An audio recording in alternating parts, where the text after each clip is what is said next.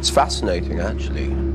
A werewolf who isn't beholden to the moon, a vampire who doesn't burn in the sun. A true hybrid. Excellent timing, Ray.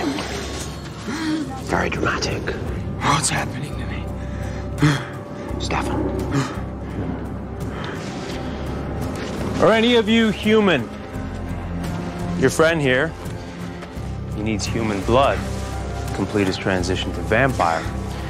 If he doesn't get it, he will die. Doesn't take much. Just a sip. Anyone? A boyfriend, a girlfriend along for the ride?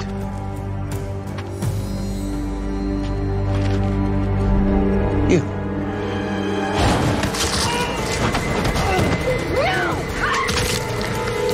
You don't drink it, Ray? I will. Problem is, don't know how to stop. It's the new order, sweetheart. You join us, or you die. I'd rather die than be a vampire. Wrong choice.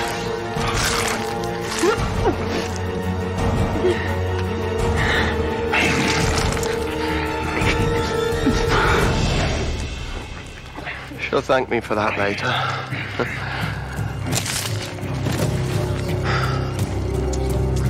okay. Who's next.